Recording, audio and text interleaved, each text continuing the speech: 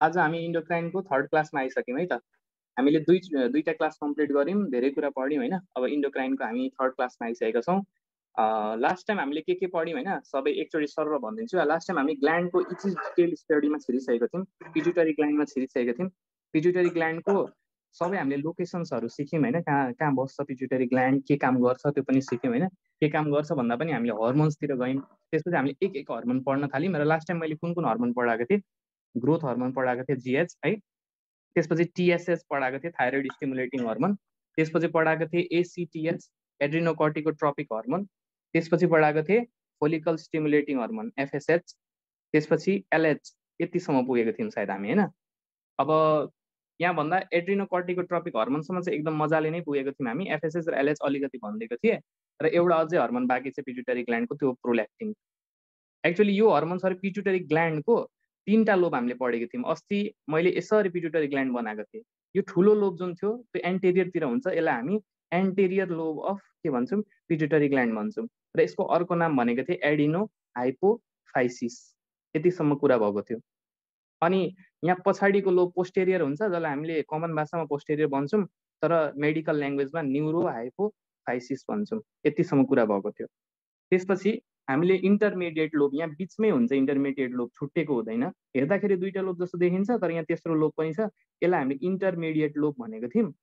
जसलाई चाहिँ अर्को ल्याङ्ग्वेजमा के भन्छ? मेडिकल ल्याङ्ग्वेजमा पार्स इन्टरमिडिया भन्छ। यति पढेको थियौँ। अनि यो एन्टेरियर जुन पिट्युटरीको पार्ट छ नि यसले निकाल्ने हर्मोन मात्रै पढ्दै थिएँ मैले हामी यो छवटा हेर न। Growth hormone thyroid stimulating hormone adrenocorticotropic hormone follicle stimulating hormone luteinizing hormone र प्रोल्याक्टिन यो छवटा हर्मोन चाहिँ यो एन्टेरियर पार्टले निकाल्छ। एकदम सजिलो कुरा छ है। यो एन्टेरियर पार्टमा धेरै सेल्स छ। है धेरै टाइपको सेल छ। मैले अस्ति एउटा अझै स्टेटमेन्ट भनेको थिएँ। जस्तो एउटा सेलले यो ग्रोथ हर्मोन निकाल्छ भने त्यही सेलले ग्रोथ हर्मोन निकाल्दैन। ए सरी त्यही सेलले अर्को हर्मोन निकाल्दैन। त्यो स्पेसलाइज त्यो सेल स्पेसलाइज भइहाल्छ ग्रोथ हर्मोन मात्रै निकाल्नु। अब टिएसएस निकाल्ने अर्कै सेल हुन्छ। अब यो सेलहरूको नाम पनि छ। यो कहिले पनि इन्ट्रान्समा सोधेको छैन तर एज अ नलेजको लागि तिमीहरूले याद गर्न सक्छौ। जस्तो ग्रोथ हर्मोन ग्रोथ हर्मोन निकाल्ने जुन सेल हुन्छ त्यसलाई हामी सोम्याटोट्रप सेल भन्छौँ क्या सोम्याटोट्रप सेल भन्छौँ। अनि त्यसपछि अर्को थाइरोइड स्टिमुलेटिङ हर्मोन जुन निकाल्नु छ त्यसलाई हामीले थाइरोट्रपिन पनि भन्छौँ। सरी त्यसलाई हामीले थाइरोट्रप सेल भन्छौँ। थाइरोट्रपिन भन्दा पनि थाइरोट्रप सेल भन्छौँ है। यसरी यो सेलहरूको नाम हेर न ट्रप ट्रप अनि अर्को एड्रिनो कर्टिको ट्रपिक निकाल्ने कर्टिको ट्रप यो ट्रप ट्रप ट्रप भने यो सेलको नाम हो क्या? यो खासै इन्ट्रान्समा अहिलेसम्म सोधेको छैन तर तिमीहरूले जस्ट एउटा नलेजको लागि जस्तै एफएसएच निकाल्नेलाई गोनाडो ट्रप भन्छौँ। यो सबै टाइप्स अफ सेल हो क्या? यो टाइप्स अफ सेल हो जुन कहाँ छ? पिचुटरीको एन्टेरियर एन्टेरियर लोबमा छ यो टाइप्स अफ सेल यिनीहरूले निकाल्छ एउटा एउटा हर्मोन है? सो अब यो चाहिँ क्लियर भयो होला। अब एकछिनको लागि हामीले फोलिकल स्टिमुलेटिङ हर्मोन बुझौँ है? अस्ति एड्रिनो कर्टिकोट्रपिक हर्मोनसम्म मैले बुझाएको थिएँ। अलिकति ब्रिफमा भन्नुपर्दा यो एड्रिनो कर्टिकोट्रपिक हर्मोन निक्लिन्छ चाहिँ पिट्युटरीबाट सपोज यो एसिटिएस निक्लियो। ब्लडमा बग्दै बग्दै जान्छ अनि कहाँ एक्ट गर्छ? किडनीको यसरी माथि एड्रिनल ग्ल्यान्ड हुन्छ क्या अनि एड्रिनल ग्ल्यान्ड दुईवटा पार्ट हुन्छ। एड्रिनल ग्ल्यान्डको बाहिरी पार्टलाई हामी कटेक्स भन्छौँ। भित्र एउटा पार्ट हुन्छ त्यसलाई हामी मेडुला भन्छौँ। अनि यो कर्टेक्स पार्टमा मात्रै एक्ट गर्छ यो एसिटिएचले त्यसैले यसको नाम के छ? एड्रिनो कर्टिकोट्रपिक हर्मोन भनेपछि यसले एक्ट गर्नु भनेको के भन्छ? यसले कर्टेक्सलाई भन्छ त अझै हर्मोन निकाल। कुन हर्मोन कर्टेक्सबाट निक्लिने हर्मोन अब कर्टेक्सबाट कुन कुन हर्मोन निक्लिन्छ अथवा के निक्लिन्छ? त्यो हामी पछि पढ्छौँ जब हामी एड्रिनल ग्ल्यान्ड पढ्छौँ। सो अब हेर है। अब चाहिँ के छ भन्दाखेरि फोलिकल स्टिमुलेटिङ हर्मोनले चाहिँ के गर्छ बुझ? एसिटिएचको मैले अहिले रिक्याप दिएँ। फोलिकल स्टिमुलेटिङ हर्मोन पनि कहाँबाट निस्किन्छ? पिजुटरीबाटै निस्किन्छ। पिजुटरीको कुन लोब? एन्टेरियर अहिले हामी एन्टेरियर लोब मात्रै पढ्दैछौँ। एन्टेरियर लोबबाटै निस्किन्छ। तर यो गएर कहाँ एक्ट गर्छ? ल कहाँ एड गर्छ कसो यसो कमेन्ट गर त। कमेन्ट बक्समा कहाँ एड गर्छ? पोलिकल स्टिमुलेटिङ हर्मोनले छिटो है छिटो लेख है। ट्राई गर जे जे लेख्दा पनि जे मनमा लाग्छ त्यही लेख है। म च्याट हेरिरहेको छु पोलिकल स्टिमुलेटिङ हर्मोनले कहाँ एड गर्छ होला? यहाँ एउटा कुराले तिमीहरूलाई हिन्ट दिन सक्छ है। इस्ट्रोजेन लेख्नु भएको छ। मैले चाहिँ एक्चुअली के सोध्दैछु भने फोलिकल स्टिमुलेटिङ हर्मोनले कुन अर्ग्यान हो? एकजनाले ओभेरिज होला भन्नुभएको छ है। एकदम क्लोज हुनुहुन्छ। ओके टेस्टिस एन्ड ओभरिज यो चाहिँ एकदम करेक्ट एन्सर है मेलमा फोलिकल स्टिमुलेटिङ हर्मोन पढ्दैछौँ है हामी। फोलिकल स्टिमुलेटिङ हर्मोन अहिलेको लागि तपाईँहरूको लेभलको लागि यो फोलिकल सुन्ने बित्तिकै तपाईँहरूले ओभरी याद गर्नुपर्छ कि? ओभरीमा तपाईँहरूले ग्राफियन फोलिकलहरू सुन्नुभएको छ नि? प्रिमोडियल फोलिकल सुन्नु अहिले सुन्नुभएको छैन होला हामी रिप्रोडक्टिभमा फेरि पढ्छौँ।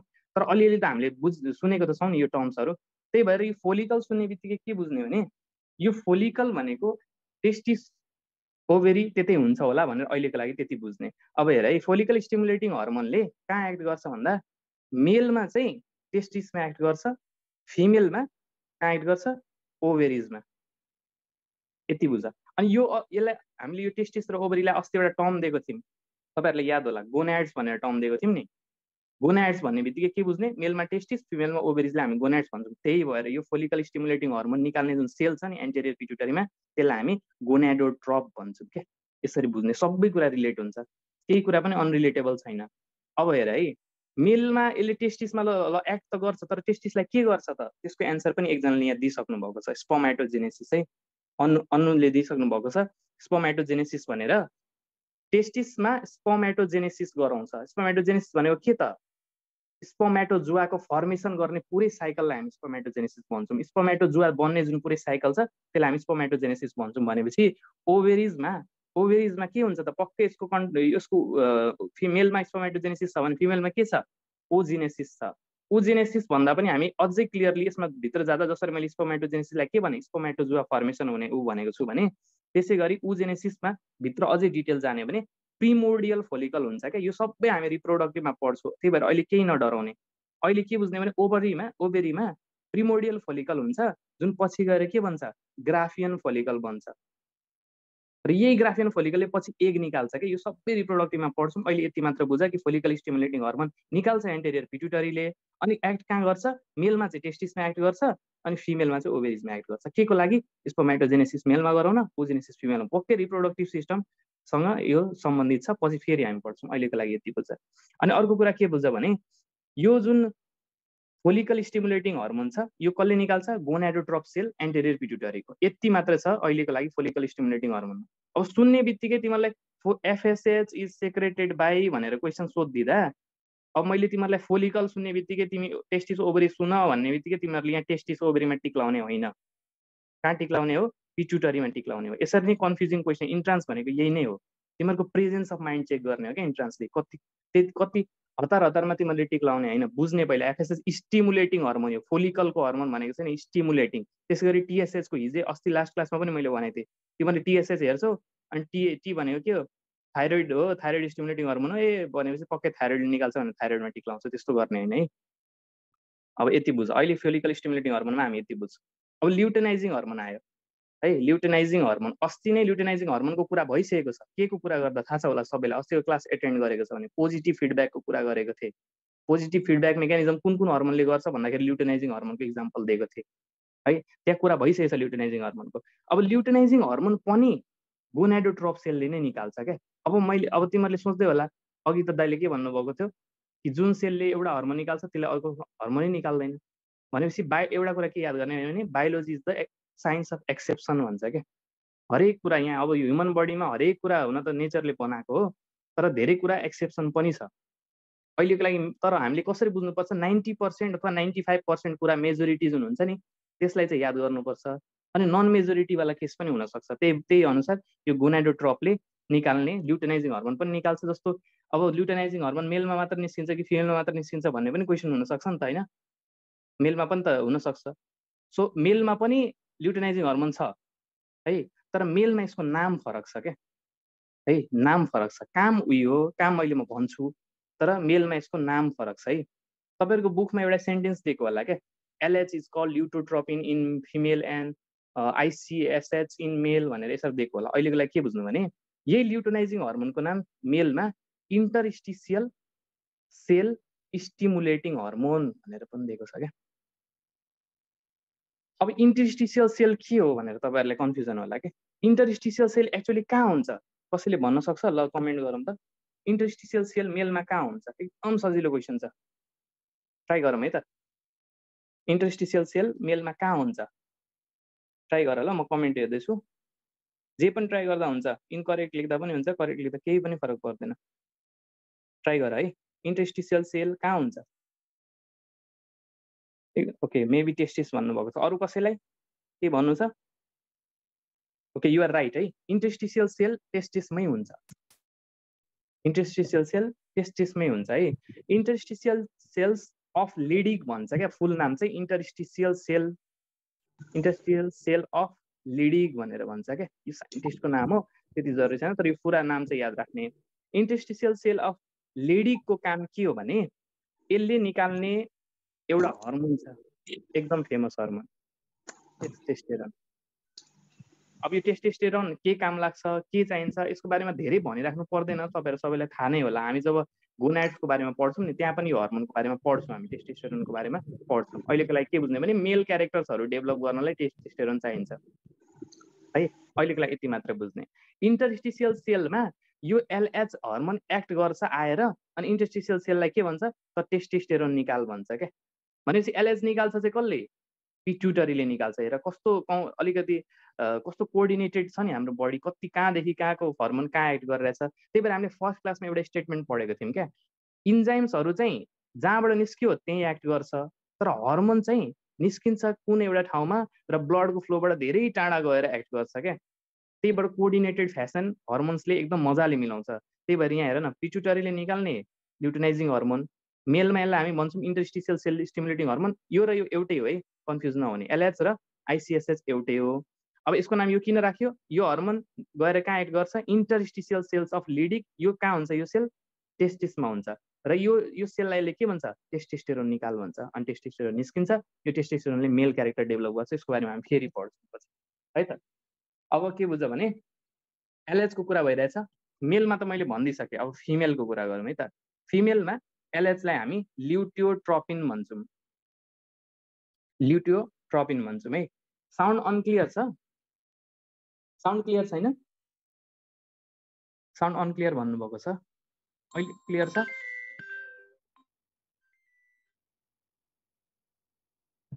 अब क्लियर छ? ओके क्लियर नै छ भन्नुभएको छ है। ओके सो अब फिमेलमा के भन्छ? ल्युटोट्रपिन भन्छ। के भन्छ? ल्युटोट्रपिन भन्छ। अब बुझ है? ल्युटोट्रपिन फिमेलमा भन्छ मेलमा इन्टरस्टिसल सेल स्टिमुलेटिङ हर्मोन भन्छ। अब मेलमा त फङ्सनको कुरा गरिसके फिमेलमा चाहिँ फङ्सन के हो त? एलएचको भनेपछि एलएचको फङ्सन फिमेलमा चाहिँ यसले गएर के गर्ने भने त्यही अघि हामीले एउटा चिज पढेको थियौँ। यहाँ हेर त के पढेको थियौँ? फोलिकल स्टिमुलेटिङ हर्मोनले ओभेरिजको फोलिकल्समा गएर उजेनेसिस एग निकाल्ने काम गर्छ। ल्युटिनाइजिङ हर्मोनले पनि त्यही नै गर्ने हो। तर यसको अलिकति तरिका फरक हुन्छ। त्यो अहिले कम्प्लेक्स चिज हो हामी पछि पढ्छौँ। अहिलेको लागि मात्र के बुझ्छ भने ल्युटिनाइजिङ हर्मोनको यो कुरा अस्ति पनि गरिसकेको थिएँ मैले जब मैले पोजिटिभ फिडब्याक मेकानिजम भन्दै थिएँ। त्यतिखेर के गर्छ भने जब ओभेरीले जब ओभेरीले सुरुमा प्रिमोडियल फलिकल हुन्छ क्या ओभेरीसँग त्यसलाई ग्राफियन फोलिकल भन् म्याच्योर हो. ग्रा Graafian follicle is more mature than primordial follicle यति त सबलाई थाहा छ होइन? पहिला प्रिमोडियल फोलिकल हुन्छ त्यो ग्राफियन फोलिकल बन्छ। यो प्रोसेसलाई एड गर्ने चाहिँ एक्चुली यो चाहिँ एफएसएच हो। अहिलेको लागि यति बुझ है। यो पार्ट यो काम गर्ने चाहिँ एफएसएच हो। तर ग्राफियन फोलिकल मात्र बनेर भएन नि त यसको भित्रको एक त बाहिर निक्लिनु पऱ्यो नि त। यसलाई चाहिँ एक्चुअल ओभुलेसन भन्छौँ क्या हामी। त्यही भएर माथि मैले उजेनेसिस भने माथिको कुरालाई। अनि ओभुलेसन डिरेक्टली राखेँ। किनभने यो काम चाहिँ एलएचले गर्ने। बुझ्यो होइन सबैले? ल्युटोट्रोपिन साउन्ड त क्लियर छ होला। ल्युटोट्रोपिन फिमेलमा हामी भन्छौँ ल्युटिनाइजिङ हर्मोनलाई नाम अर्को किन राख्यौँ भन्दाखेरि एलएच मेलमा पनि हुन्छ फिमेलमा पनि हुन्छ त्यही भएर छुट्याउन अर्को नाम राख्यौँ। अनि यहाँ चाहिँ एलएचले के गर्छ? ओभमबाट सरी ओभेरीको ग्राफियन फोलिकलबाट ओभम जुन एग छ नि त्यसलाई निकाल्ने काम गर्छ। अब हेर है तिमीहरूले अब छुट्याउन सक्छौ कि एलएच र एफएसएच फोलिकल स्टिमुलेटिङ हर्मोन र एलएचमा के फरक छ? भन्दाखेरि एफएसएचले चाहिँ ग्राफियन सरी प्रिमोडियल फोलिकललाई ग्राफियन फोलिकल बनाउँछ। अब ग्राफियन फोलिकल भित्र भएको एगलाई निकाल्ने काम चाहिँ कसले गर्छ? एलएचले गर्छ। अहिले यति बुझ्यो भने इट्स मोर देन इन है त? अब त्यसपछि एलएचको एउटा अझै सानो काम छ। है तिमीहरूको बुकमा पनि कतै न कतै होला। यदि तिमीहरूले स्ट्यान्डर्ड बुक फलो गरिरहेको छौ भने त्यहाँ के भन्छ भने दुई तिनवटा एलएचको अझै काम छ कि? मेजर कामहरू म भनिदिन्छु। एउटा त तिम्रो यही भइहाल्यो एलएचले के गर्छ? ओभ्युलेसन गराउने। ओ तिम्रो ओभमलाई ग्राफिन फोलिकलबाट निकाल्ने काम गर्छ। यो निस्केन भने त हाम्रो फर्टिलाइजेसन प्रोसेस अगाडि बढ्दैन नि त होइन? सो यो ओभुलेसन त गरौँ। मेन काम त यही भयो। अब अर्को काम अर्को मेजर काम भने के हो भन्दाखेरि युटरस जुन हुन्छ नि फिमेलमा यस्तो हुन्छ। हेर है फिमेल रिप्रोडक्टिभ पनि अलिकति चाहिँ म भनिदिइहाल्छु। होइन? एकदम सिम्पल प्रोसेसमा भनिदिन्छु ल। धेरै लामो होइन किनभने हामी रिप्रोमा अझै पढ्छौँ क्या। यो यसरी ओभेरी बसेको हुन्छ अहिलेको लागि यति बुझौँ है। ओभेरीले के निकाल्छ? ओभेम ओभम निकाल्छ। ओभम भनेको हाम्रो एग। यो एग यसरी यसरी आउँछ अनि यहाँ एम्पुला भन्ने पार्ट हुन्छ क्या यो फेलोपियन ट्युबमा। अनि यहाँ आएपछि मेलको स्पम यहाँबाट आउँछ यसरी। अनि आउँदै आउँदै यहाँ गएर फर्टिलाइज गर्छ। फर्टिलाइज भएपछि यो फेरि फर्केर यता आएर युटरेसमा कुनै एक ठाउँमा इम्प्लान्ट हुन्छ कि यसरी। अनि यही अब यो ठुलो हुन्छ र पछि बेबीको फर्मेसन यही हुन्छ।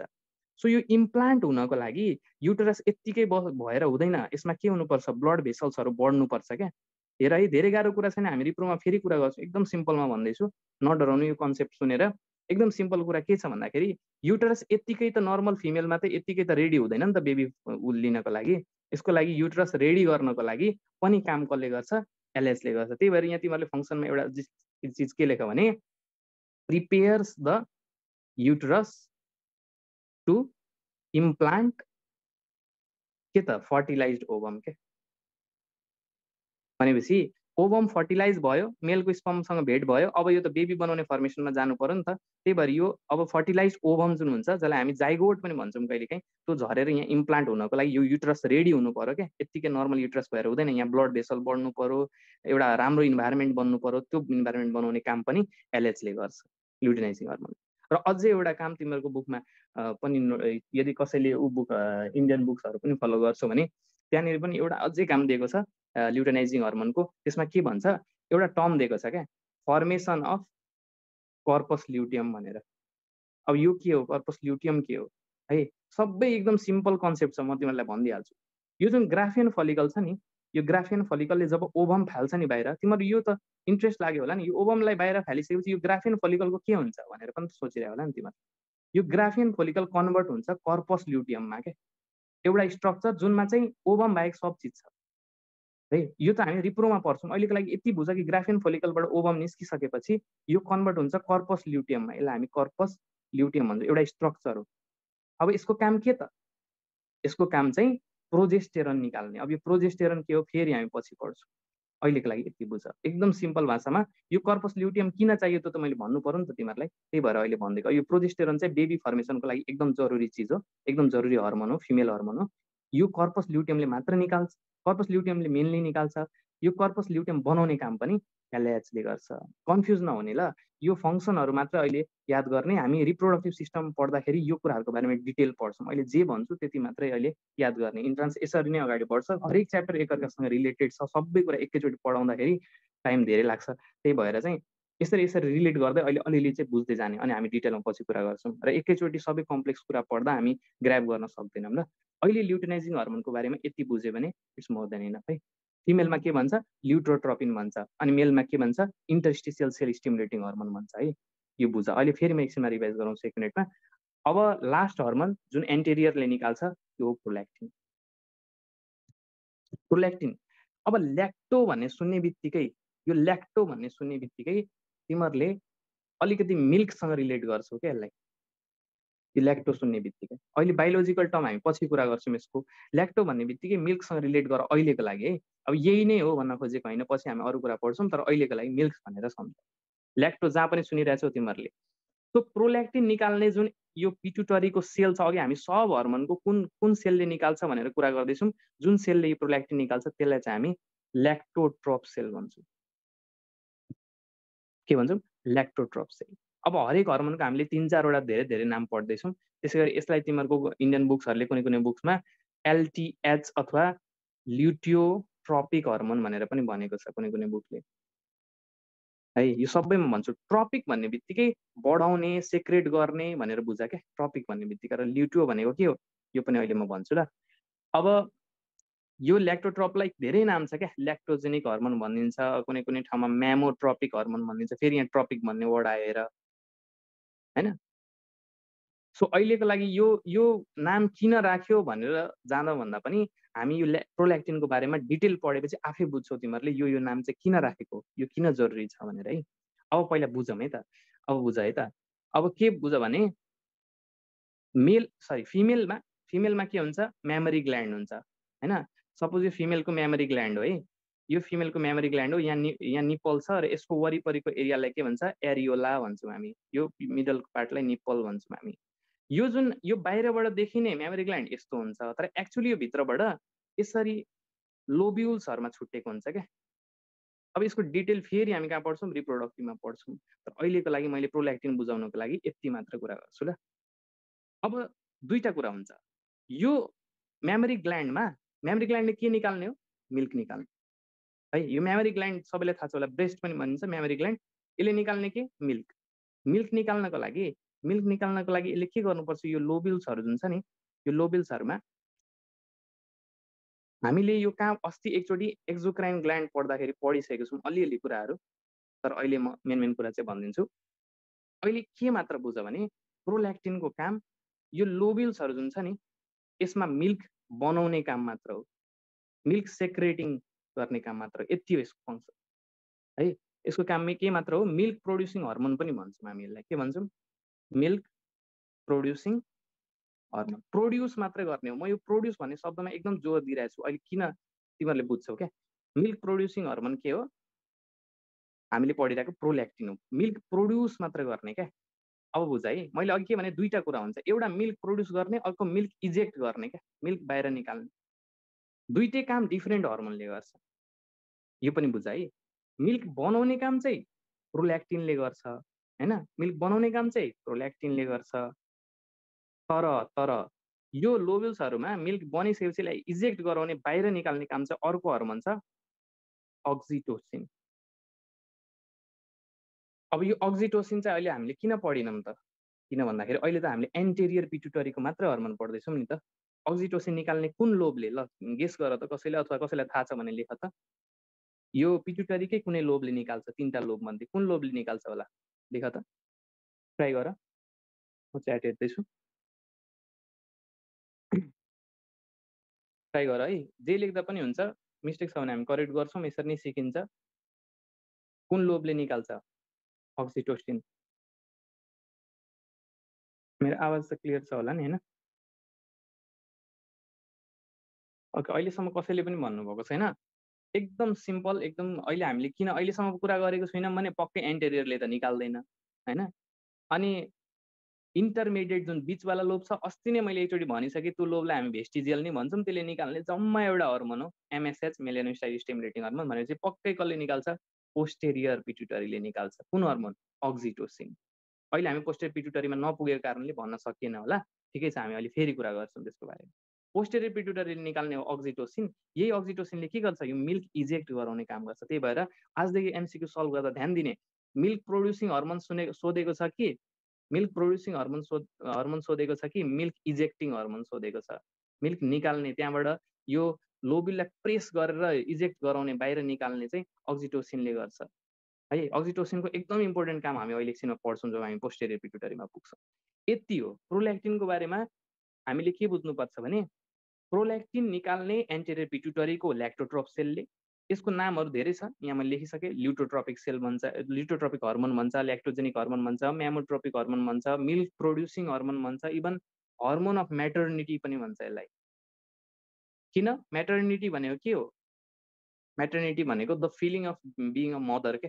एउटा आमा बन्ने जुन एउटा फिलिङ अथवा भनौँ न एउटा स्टेटस भनौँ न त्यो स्टेटसलाई हामी म्याटर्निटी भन्छौँ भनेपछि म्याटर्निटीको एउटा हर्मोन प्रोल्याक्टिन पनि हो अहिलेको लागि यति बुझ है। अब अब तिमीहरूले अर्को कुरा के बुझ्नुपर्छ भने यो प्रोल्याक्टिन जुन हर्मोन छ प्रोल्याक्टिन हर्मोन कुनै कुनै हर्मोनलाई अर्को हर्मोन अथवा अर्को कुनै चिजले कन्ट्रोल पनि गरिरहेको हुन्छ क्या? त्यसलाई हामी कन्ट्रोलिङ एजेन्ट पनि भन्छौँ होइन? कन्ट्रोलिङ एजेन्ट भन्छौँ। कुनै कुनै एउटा हर्मोनको सेक्रेसनलाई अर्को हर्मोनले कन्ट्रोल गर्छ नि त। त्यस्तै हाम्रो बडीमा हाम्रो बडीमा यो प्रोल्याक्टिनको सेक्रेसन अर्को एउटा हर्मोन छ जसको बारेमा अस्ति हामीले types of hormone on the basis of chemical composition कुरा गर्दाखेरि हामीले त्यहाँ एउटा हर्मोन पढेको थियौँ त्यसको नाम थियो डोपामिन अब त्यो डोपामिन कहाँ पढेको थियौँ थाहा छ? एमिनो एसिड हर्मोन कम्प्लेक्स भनेर हामीले फर्स्ट दिन पढेको थियौँ नि एमिनो एसिडले बनाउने हर्मोन्सहरू पढेको थियौँ त्यहाँ हामीले डोपामिन पढेको थियौँ। त्यहाँ मैले के भनेको थिएँ? मिड ब्रेन हाम्रो ब्रेन जुन छ हाम्रो ब्रेनलाई तिनवटा पार्टमा हामी बाँड्छौँ फोर ब्रेन होइन मिड ब्रेन र हिन्ड ब्रेन यो मिड ब्रेनले निकाल्ने हर्मोन हो डोपामिन यसले कन्ट्रोल गर्छ क्या प्रोल्याक्टिनलाई है यो पनि कहिले काहीँ सोधिदिन सक्ला भनेर यो कुरा एउटा इन्फर्मेसन हामीले दिनैपर्छ त्यही भएर दिएको है त। अब अर्को कुरा के बुझ भने मैले अहिले भर्खर के भने यो मेमोरी ग्ल्यान्डमा मेमोरी ग्ल्यान्डमा मिल्क बनाउने काम प्रोल्याक्टिनले गर्ने हो। यो बनाउनेमा एकदम जोड दियो है। बनाउने काम मात्रै गर्ने हो प्रोल्याक्टिनले तर अरू पनि त प्रोल्याक्टिनको के काम होला नि त होइन? अब यसले के गर्ने हो प्रोल्याक्टिनले मिल्क सेक्रेसन गर्ने पनि हो मेन्टेन पनि गर्ने हो नि त। आफै बुझ न होइन? जस्तो के बुझ भने एउटा मदरको सपोज यो एउटा मदरको मेमोरी ग्ल्यान्ड होइन? अब बेबी बेबी छ अरे सपोज यहाँ एउटा बेबी छ। यो बेबीले यो मिल्क खायो होइन? अब मिल्क खाएपछि यो जस्तो लोब्सहरू होइन लोब्सहरूबाट यो मिल्क इजेक्ट भयो मिल्क खायो। अब यहाँ मिल्क खाली भएपछि फेरि प्रोल्याक्टिनले यहाँ मिल्क सेक्रेसन बढाउँछ। यसलाई त मेन्टेन भनिन्छ नि त होइन? सुरुमा मिल्क बनाउनुलाई चाहिँ सेक्रेसन भन्छ। है सेक्रेसन सेक्रेसन भनेको निक केही कुरा बनाउनु हो निकाल्नु चाहिँ होइन। यो बुझ्नुपर्छ तिमीहरूले। सेक्रेसन सुन्ने बित्तिकै तिमीहरूलाई होला कि मेमोरी ग्ल्यान्डबाट निकाल्ने? होइन। निकाल्ने काम चाहिँ अक्जिटोसिनले गर्छ मैले बारम्बार भनिरहेको छु। अनि सेक्रेसन भनेको निकाल्ने होइन बनाउने हो। बनाउने काम कसले गर्छ? प्रोल्याक्टिन। र बनाउने मात्रै काम त भएन नि त यहाँ। यो मिल्क निस्केपछि फेरि अर्को मिल्क बनाउनको लागि फेरि प्रोल्याक्टिनले नै काम गर्छ त्यही भएर यसलाई मेन्टेन्स मेन्टेन पनि गर्यो नि त। So it also maintains milk secretion as well as initiate initiate पनि गर बनाए पनि। यसलाई यो दुइटै प्रोसेसलाई हामी कम्बाइन्डमा ल्याक्टेसन भन्छौँ क्या। ल्याक्टेसन मिल्क बनाउनु स्टोर गर्नु मेन्टेन गर्नु यसलाई हामी ल्याक्टेसन भन्छौँ। है? अब अर्को कुरा के बुझ भन्दाखेरि अर्को कुरा के बुझ भन्दाखेरि तिमीहरूले एउटा टर्म काहीँ न काहीँ सुनेको होला। म यो टर्मको मिनिङ सोध्छु कसैले भन्न सक्छ कि सक्दैन है त? एमिनोरिया। ल कसैले यसको बारेमा भन त यो के हो? एमिनोरिया भनेको। सबै टर्मको बायोलोजिकल मिनिङ हुन्छ है। एमिनोरिया भनेको के हो? ट्राई गर है। एनिथिङ जे मनमा आउँछ तिमीहरूलाई लाग्छ यो होला भनेर त्यो पनि लेख्दा हुन्छ। हामी करेक्ट गर्छौँ। ट्राई गर ल। एमिनोरिया भनेको के होला? ओके एक्सेस अफ प्रोल्याक्टिन भन्नुभएको छ एकदम क्लोज हुनुहुन्छ है? ओके अरू केही? अरू कसैले के भन्नुहुन्छ? ओके छैन। अब यहाँ सुन है यहाँ सुन। एक्सेस अफ प्रोल्याक्टिन भन्नुभयो एकजनाले एकदम क्लोज हुनुहुन्छ एक्ज्याक्ट कुरा चाहिँ भन्नु भएन तर एकदम नजिक हुनुहुन्छ। यतिको ट्राई गर्नु भने धेरै ठुलो कुरा हो। अब अर्को स्टुडेन्टले पनि एन्सर दिनुभएको छ। एब्सेन्स अफ मेनोपोज यो पनि एकदम क्लोज आएर फेरि उल्टो भइदियो क्या। एकदम राम्रो है ट्राई गरेको एकदम राम्रो मलाई ट्राई गरेको एकदम मनपर्छ। दुईवटा कुरा आएको छ। एक्सेस अफ प्रोल्याक्टिन म दुइटैजनालाई एकदम क्लियर क्लास म इक्जाम्पल दिन्छु ल। क्लियर तरिकाले बुझाउँछु ल। यो के हो? पहिला म तलको कुरा गर्छु ल। एब्सेन्स अफ मेनोपोज भन्नुभयो नि। मेनोपोज भनेको के हो? मेनोपोज भनेको मेन्स्ट्रुएसन रोकिनु क्या। मेन्स्ट्रुएसन के गर्नु? रोकिनु। अनि एब्सेन्स भनिदिएपछि त मेन्स्ट्रुएसन रोकिनुको एब्सेन्स भन्नुको मतलब के हो? मेन्स्ट्रुएसन हुनु हो नि त। होइन? मेन्स्ट्रुएसन हुनु। भन्नुको मतलब बुझ्नु भयो नि? होइन? नेगेटिभ नेगेटिभ पोजिटिभ हुन्छ नि त। होइन? हो अब चाहिँ एकजनाले एब्सेन्स अफ मेन्सुअल पिरियड भन्नुभएको छ। यो चाहिँ ठिक हो। एब्सेन्स अफ मेनो तपाईँले लेख्न खोजेको चाहिँ एब्सेन्स अफ मेनो मेन्स्ट्रुएसन लेख्न खोज्नु भएको होला। मेनो पोज भएछ। कि त मेनोपोज मात्र लेखेको भए पनि करेक्ट हुन्छ बुझ्नुभयो होला नि? होइन? मैले के भन्न खोजिरहेको छु? म पहिला भनिदिन्छु ल एमिनोरिया भनेको के हो? एमिनोरिया भनेको एक्चुअली चाहिँ मेन्स्ट्रुएसन नहुनुलाई नै एमिनोरिया भन्छ। है मेन्स्ट्रुएसन नहुनुलाई नै हामी मेनोपोज पनि भन्छौँ। है तर एब्सेन्स अफ मेनोपोज भनेको त उल्टो भयो नि त। तपाईँले बुझ्नुभयो होला है आई होप रेजिना भन्ने स्टुडेन्टले लेख्नु भएको छ। र बुझ्नुभयो होला तपाईँले एब्सेन्स अफ मेनोपोज लेख्न मिलेन प्रेजेन्स भयो नि त मेनोपोजको। तपाईँले लेख्न खोजेको ठिकै थियो अलिकति मिस्टेक भएको होला। र अर्को यहाँ जुन लेख्नु भएको छ excess of prolactin. Excess of prolactin हो यो।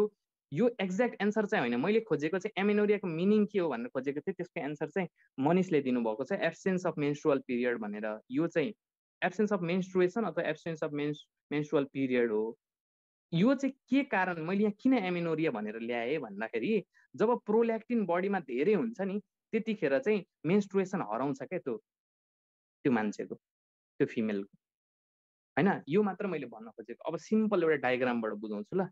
सपोज यो एउटा फिमेल हो this is the memory gland होइन यो एउटा फिमेल हो अब अब के बुझ भने तिमीहरूले?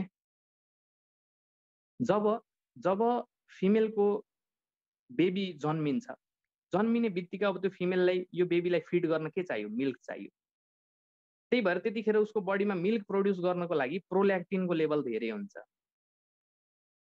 प्रोल्याक्टिनको लेभल जब धेरै हुन्छ त्यतिखेर यो प्रोल्याक्टिन धेरै हुनु भनेको हाइपर यसलाई टर्म दिन्छौँ हामी। अस्तिदेखि हामी सबै हर्मोनको धेरै हुँदा थोरै हुँदा के हुन्छ भनेर पढ्दैछौँ नि?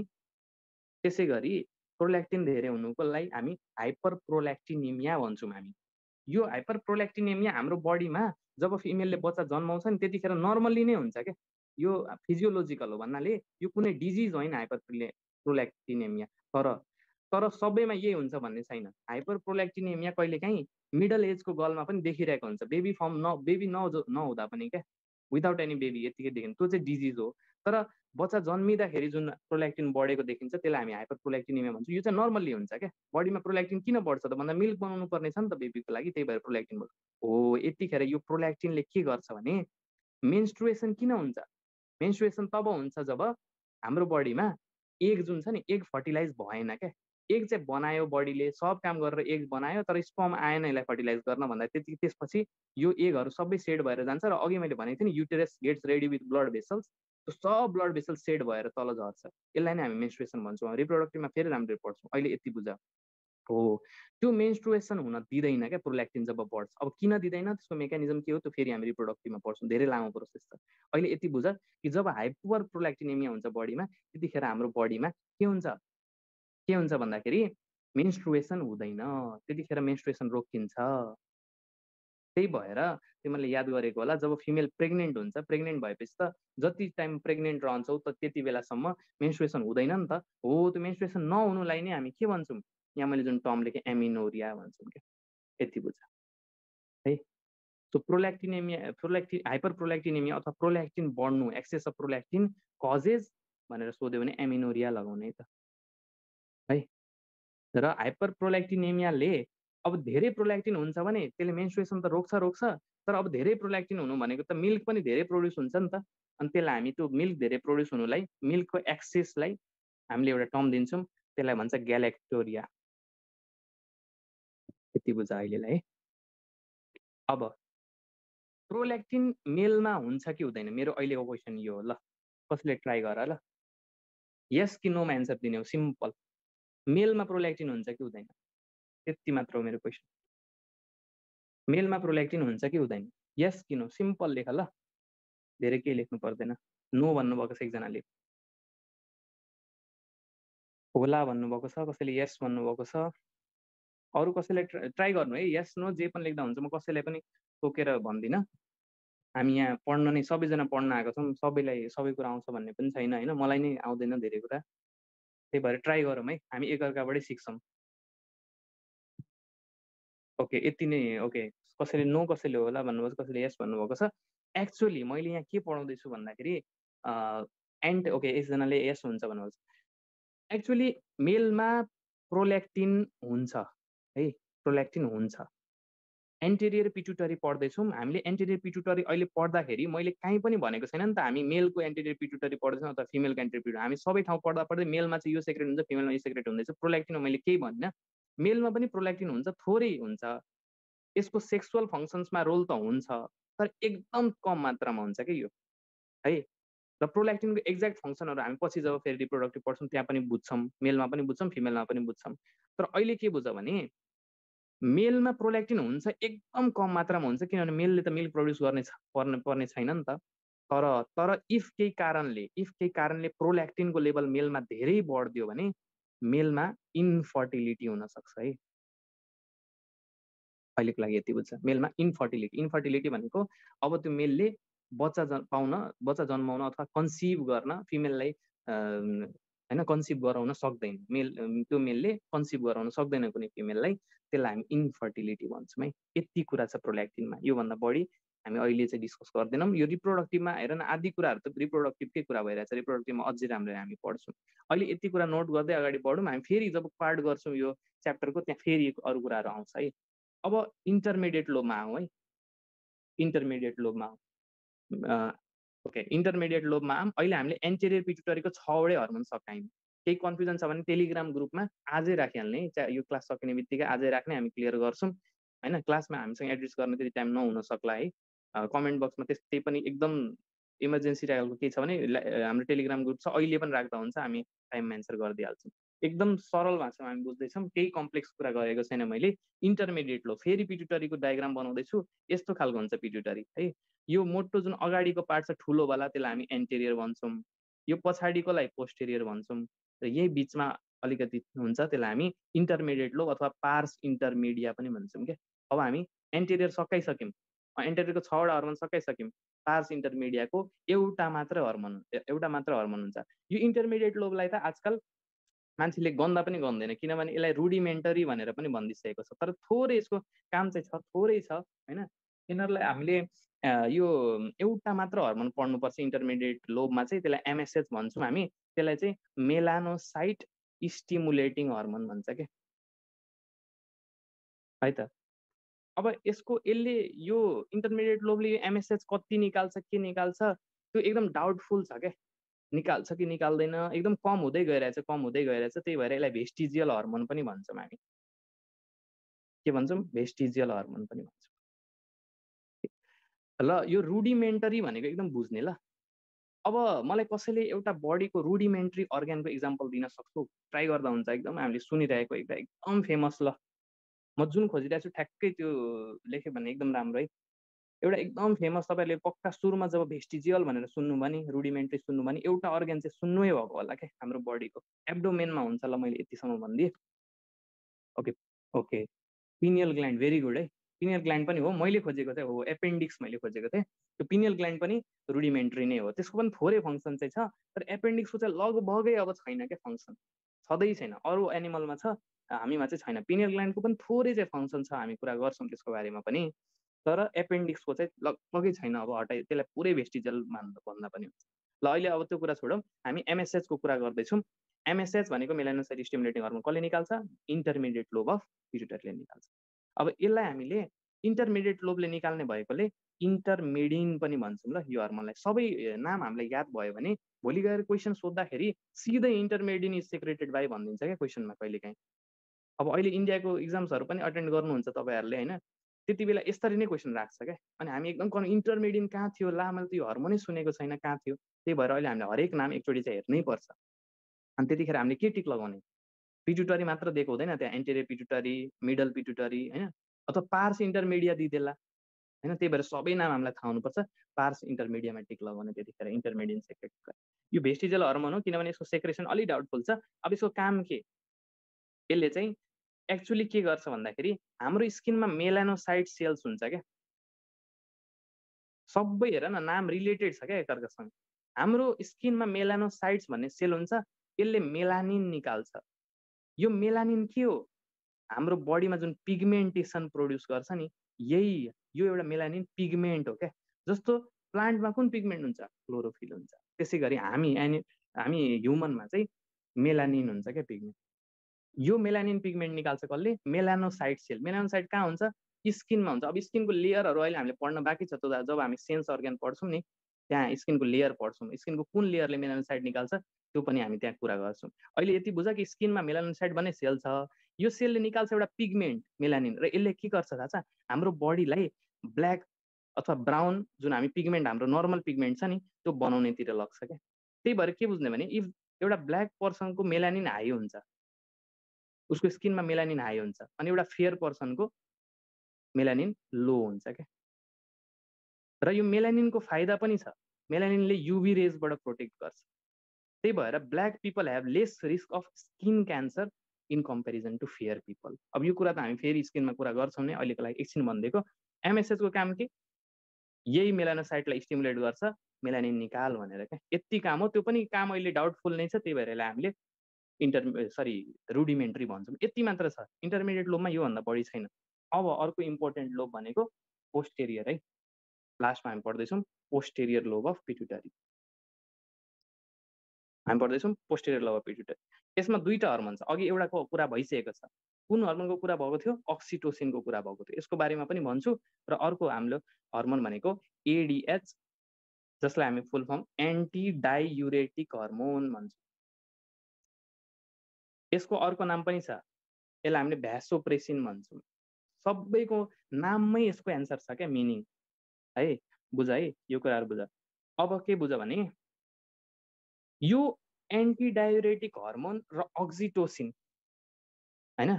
यो एन्टिडायरेटिक हर्मोन र अक्जिटोसिन एक्चुअल्ली पोस्टेरियर लोबले निकाल्छ कि निकाल्दैन यो हामीले एकदम एउटा भनौँ न एकदम कन्ट्रोभर्सियल क्वेसन हो क्या?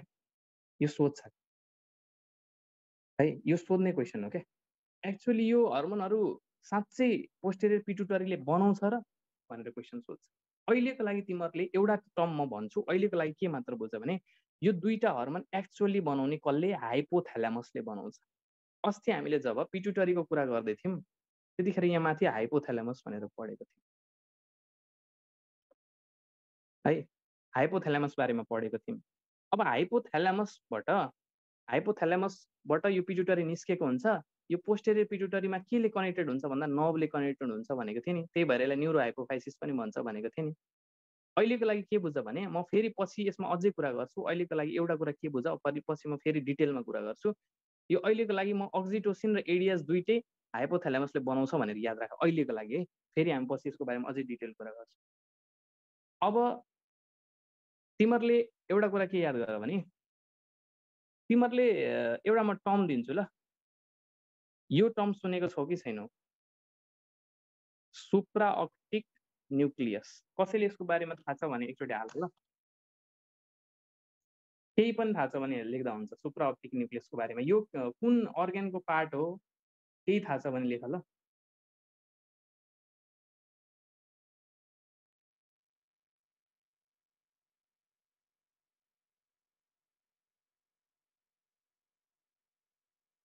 केही केही पनि लेख्दा हुन्छ। तिमीहरूले जे थाहा छ लेख।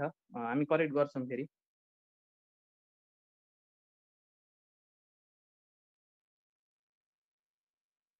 ओके।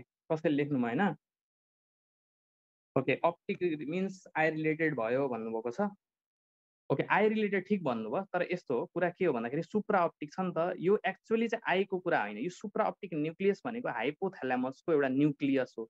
अब न्युक्लियस भनेको के हो भनेर ओके हाइपोथ्यालामस भनिसक्नु मैले अहिले आफै भनि पनि सकेँ कि यो हाइपोथ्यालामसको धेरै पार्ट्स छ। यो चाहिँ जब हामी नर्भस सिस्टम पढ्छौँ नि त्यतिखेर पढ्छौँ। यो भित्र न्युक्लियसहरू छ क्या। त्यो मध्ये सुप्रा अप्टिक न्युक्लियस भन्ने एउटा न्युक्लियस छ। यो सुप्रा अप्टिक न्युक्लियसले निकाल्ने हर्मोन चाहिँ एडिएच हो एन्टिडायरेटिक हर्मोन हो। जसको बारेमा अब हामी कुरा गर्न गइरहेछौँ अब तपाईँहरूले यहाँ एकजनाले राखिसक्नु भयो अप्टिक मिन्स आई रिलेटेड भयो भनेपछि यो आँखाको किन सम्बन्धित भएन भन्दाखेरि एउटा बडी हुन्छ क्या यहाँ आँखासँग रिलेटेड। त्यो बडीको माथि भएको कारणले सुप्रा अप्टिक न्युक्लियस भनेको। अब त्यो बडी के हो के काम गर्छ त्यो फेरि हामी पछि पढ्छौँ। कन्फ्युजन नबनाऊँ क्या यहाँ एकदम सिम्पल तरिकाले जाऊँ। अहिले यति बुझ। सुप्रा अप्टिक न्युक्लियस सुप्रा भन्ने बित्तिकै त्यो चिज पक्कै योवाला चिजको माथि छ भनेर बुझ क्या। सुप्रा रेनल भनेपछि के बुझ्छौ?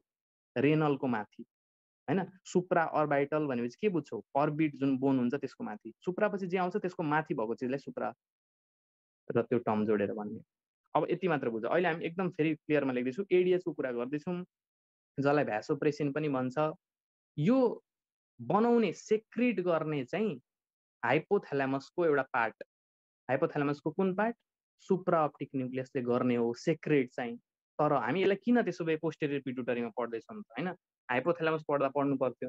किन भन्दाखेरि यसलाई बडीमा निकाल्ने चाहिँ एक्जिट गराउने अथवा अघि भर्खर एकजनाले के लेख्नु भएको छ? रिलिज भनेर लेख्नु भएको छ। यो बेस्ट टर्म हुन्छ रिलिज बाई चाहिँ पोस्टेरियर पिटुटरी अथवा न्युरो रिलिज चाहिँ पोस्टर जसरी अघि हामीले मेमोरी ग्ल्यान्डमा के पढ्यौँ? मिल्क इज सेक्रेटेड बाई चाहिँ प्रोल्याक्टिन बट रिलिज बाई कुन हर्मोन अक्जिटोसिन भनेको थियो नि त। हो त्यस्तै हो। सो अहिले यति बुझ है। अब एडिएसको काम के? नाममै एन्सर छ क्या। एन्टी डायुरेटिक हर्मोन एन्टी भनेपछि के हो? उल्टो क्या? के को उल्टो? त पक्कै यो टर्मको उल्टो क्या? एन्टी पछि जे टर्म हुन्छ नि त्यसको उल्टो गराउने। डाइयुरेटिक अथवा डाइयुरेटिक आएको छ डाइयुरेसिस भन्ने टर्ममा डाइयुरेसिस भनेको युरिन गराउनु क्या? युरिन हुनु अथवा युरिन गराउनु युरिनेसन भनेर बुझ न भनेपछि एन्टी डाइरेटिकले पक्कै के गर्छ भन्दा युरिनेसन कम गर्छ पक्कै। जिरो चाहिँ गर्दैन कम गर्छ। नाममै एन्सर हुन्छ क्या? बायोलोजीमा। नाममै सबै कुराको एन्सर हुन्छ। भनेपछि एन्टी एन्टी एन्टी युरिनेसन कम गर्छ। अब हेर है अब के बुझ भने युरिन कम गर्नु भनेको युरिनमा भएको वाटर कम गर। यो एकदम गोल्डेन टर्म तिमीहरूले बुझ है। युरिन कम गर्नु भनेको युरिनमा भएको वाटर कम गर। अब मैले अलिकति किडनीको बारेमा पनि कुरा गरिदिनुपर्छ तिमीहरू किडनीको स्ट्रक्चरल अथवा फङ्सनल युनिटलाई हामी के भन्छौँ? कसैले लेख त? एकदम छिटो लेख है। हामीसँग टाइम कमी छ। एकदम सजिलो क्वेसन सोधिरहेको छु। नेफ्रोन भन्छ ओके। किडनीको स्ट्रक्चरल र फङ्सनल युनिटलाई नेफ्रोन भन्छ। यो नेफ्रोनमा के हुन्छ हेर है हाम्रो किडनीमा हाम्रो किडनीमा ब्लड फिल्टर हुन आउँछ क्या। है? हाम्रो बडीमा ए सरी हाम्रो किडनीमा ब्लड फिल्टर हुन आउँछ। ब्लडमा धेरै नचाहिने चिजहरू हुन्छ र वाटर फेरि नचाहिने चिज होइन तर वाटर हाम्रो बडीमा बढेको बढे बढेको बढे भयो भने त हाम्रो बडीले स्टोर गर्न सक्दैन नि त। त्यही भएर चाहिँ त्यही भएर चाहिँ यो वाटरलाई यो वाटरलाई हाम्रो बडीबाट निकाल्नुपर्छ क्या। अनि पुरै निकाल्ने होइन नि त एउटा लेभलसम्म निकाल्ने हो। त्यही भएर हाम्रो ब्लड हेर न किडनीमा जान्छ अनि यो ब्लडबाट वाटर अनि अरू नचाहिने चिज युरिया क्रिएटाइनिन होइन हिप्युरिक एसिड यस्तो चिजहरू निकालेर किडनीले युरेटरमा पठाइदिन्छ। युरेटरले युरिनरी ब्ल्याडरमा पठाउँछ अनि युरेथ्राले निकालिदिन्छ। यति सिम्पल छ प्रोसेस अब यो जब हाम्रो ब्लड यहाँ आयो अनि यसले जति वाटर निकाल्थ्यो होइन अनि त्यति नै वाटर फाल्यो नि त अब यो वाटर यदि धेरै गइरहेछ चाहिने भन्दा धेरै गइरहेछ भने त्यतिखेर यो एडिएच एक्टिभेट हुन्छ। हाम्रो बडीमा प्रब्लमलाई हाम्रो बडीमा कुनै पनि नर्मल मेकानिजम उल्टो पाल्टो भयो भने नै हर्मोनले काम गर्ने हो नि त यो त सबैले बुझेको कुरा हो नि होइन? हो त्यही भएर चाहिँ के बुझ भन्दाखेरि हाम्रो बडीमा प्रब्लम के आयो? हाम्रो युरिनमा धेरै वाटर गइरहेछ। अब धेरै वाटर गयो भने त बडीमा वाटरको कमी हुन्छ। हो त्यो नहोस् भनेर एन्टी डायरेटिक हर्मोन एक्टिभेट हुन्छ। एन्टी डायरेटिक हर्म हर्मोनले थाहा पाउँछ। अनि एन्टी डायरेटिक हर्मोनले आएर यही किडनीमा एक्ट गर्छ किडनीको कुन ठाउँमा एक्ट गर्छ। यो आएर ग्लोमेरुलसबाट जुन यो फिल्टर यो फिल्ट्रेट निक्लिरहेछ यो जुन पानी निक्लिरहेछ यसलाई कम गर्छ। अब कुन ठाउँमा एक्ज्याक्ट एक्ट गर्छ अहिले मैले भन्न थालेँ भने तिमीहरूले जब हामी रेनल एक्सक्रिटरी सिस्टम पढ्छौँ त्यो पढ्ने नै वाला छौँ त्यही भएर यहाँ धेरै कुरा नगरौँ। अहिलेको लागि के बुझौँ एन्टी डायरेटिक हर्मोनले यो जुन वाटर धेरै निस्किन्छ नि यसलाई कम गर्छ क्या। जिरो गर्ने होइन कम गर्ने हो। कम गरेपछि के हुन्छ? धेरै वाटर जाँदैन अलिक कम जान्छ। भनेपछि युरिनलाई युरिनको वाटर घटाउँछ। यसलाई नै हामी के भन्छौँ? डाइयुरेसिसलाई हामी युरिन बर्ड अथवा युरिनेसन हुनु भन्छौँ भने डाइयुरेसिस त कम गरायो नि त त्यही भएर एन्टी डायरेटिक हर्मोन यसको नाम। अहिले यति बुझ है त? अब यसको अर्को पनि काम छ। न त मैले यसको नाम एन्टिडायरेटिक हर्मोन स्ल्यास भ्यासोप्रेसिन किन लेखेँ त? होइन? मैले भने नि नाममै एन्सर हुन्छ क्या। भ्यासो प्रेसिन। भ्यासो भनेको के हो कसले ट्राई गर ल भ्यासो भन्ने बित्तिकै बायोलोजीमा के बुझ्छौ? एकदम सजिलो। भेजो भन्छौँ नि हामी भेजो। भेजो भन्ने बित्तिकै के के बुझ्छौ? ट्राई गर ल एकदम सिम्पलै छ। ट्राई गर है त।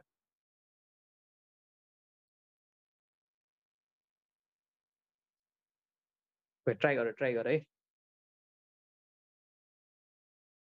ट्राई गर जे पनि लेख्दा हुन्छ कुनै त्यस्तो जरुरी छैन?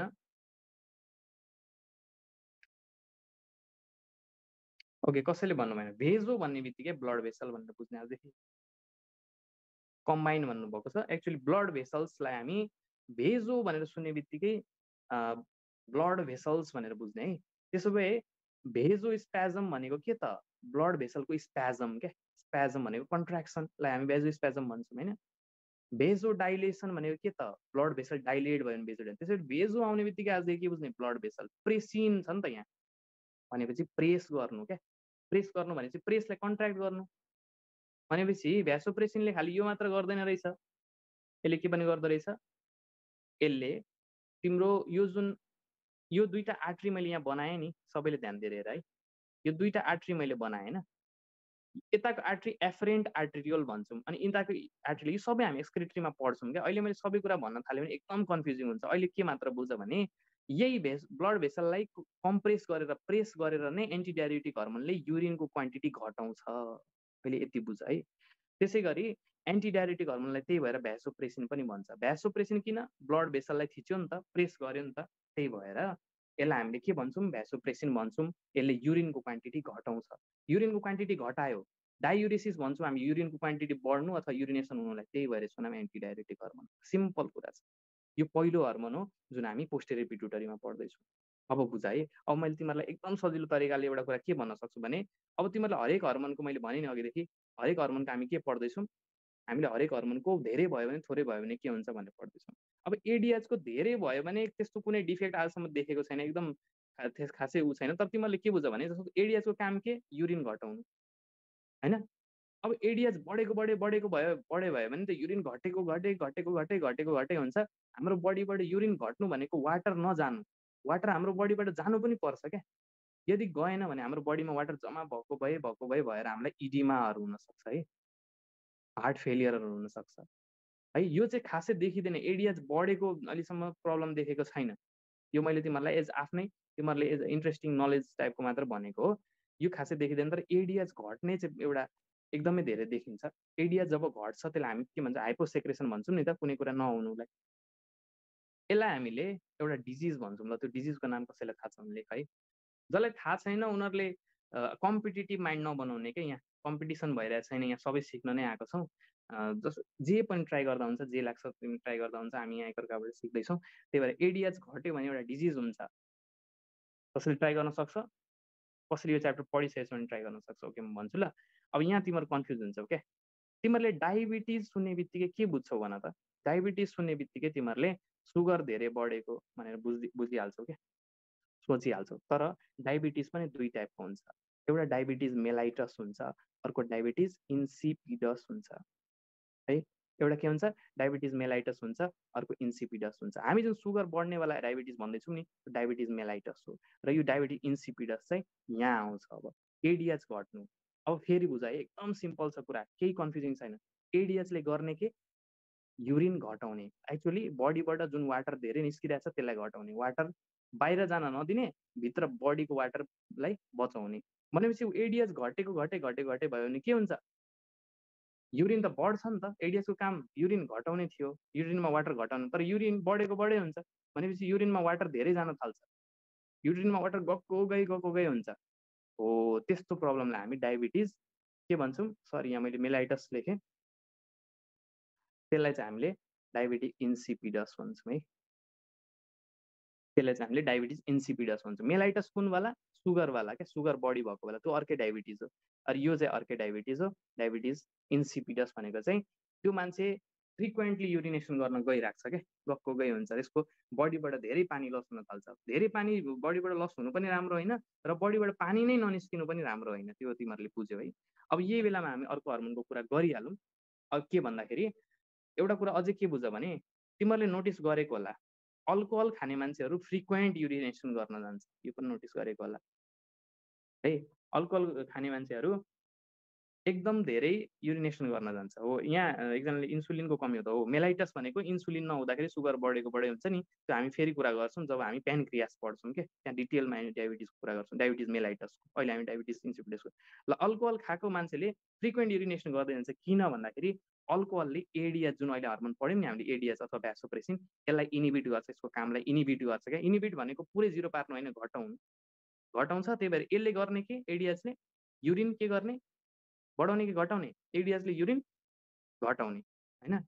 युरिन हुन नदिने एन्टी डायरेटिक तर अल्कोहलले यसलाई रोकिदियो भनेपछि युरिन के हुन्छ अब? बढ्छ क्या त्यही भएर त्यो मान्छे फ्रिक्वेन्ट युरिनेसन गर्न जान्छ। यति मात्र हो यसमा कुरा है? अब यही बिचमा हामी अक्जिटोसिन पनि बुझिहालौँ। अघि नै मैले अक्जिटोसिनको इक्जाम्पल कहाँ ल्याइसकेँ? जब हामी प्रोल्याक्टिन पढ्दैछौँ त्यहाँ भने मेमोरी ग्ल्यान्डमा मेमोरी ग्ल्यान्डमा यसरी लोबेल्सहरू हुन्छ यहाँ डक्टहरू पनि हुन्छ। त्यो हामी रिप्रोडक्टिभ सिस्टम पढ्दाखेरि राम्ररी पढ्छौँ ल्याक्टिफेस डक्टरहरूको बारेमा बुझ्छौँ। अहिले यति बुझ लोबेल्सहरू छ यहाँ मिल्क बनाउने काम चाहिँ प्रोल्याक्टिनको हो तर यो मिल्क इजेक्ट गराउने बाहिर निकाल्ने काम चाहिँ अक्जिटोसिनको हो। है यति बुझ त्यसैले त्यही कारणले चाहिँ अक्जिटोसिन जसरी प्रोल्याक्टिनलाई म्याटर्निटी हर्मोन भनेको थियो नि त्यसै गरी अक्जिटोसिनको पनि नामहरू छ। सबै नाम याद गर्नुपर्छ भोलि गएर सोध्न बेर लाउँदैन क्या। त्यही भएर अक्जिटोसिनको एउटा नाम चाहिँ बर्थ हर्मोन भन्छौँ हामी। अर्को अबोर्सन हर्मोन पनि भन्छौँ। अब किन भन्छौँ त हामी बुझ्छौँ है। इमोसनल हर्मोन पनि भन्छौँ। है? र अर्को कडल हर्मोन पनि भन्छौँ। यो नामहरू छ अक्सिटोसिन अब तिमीहरूले अब यसको फङ्सन बुझ अनि सबै नामहरूको मिनिङ तिमीहरूले बुझिहाल्छ। अक्सिटोसिन पनि कसले बनाउने? प्रोड्युस्ड बाई अथवा सेक्रेटेड बाई प्रोड्युस अथवा सेक्रेटेड बाई यो पनि हाइपोथालेमस नै हो क्या। है? तर तर रिलिज बाई बाहिर निकाल्ने चाहिँ पोस्टेरियर पिट्युटरीले रिलिज बाई। यो पनि त्यस्तै भयो नि त।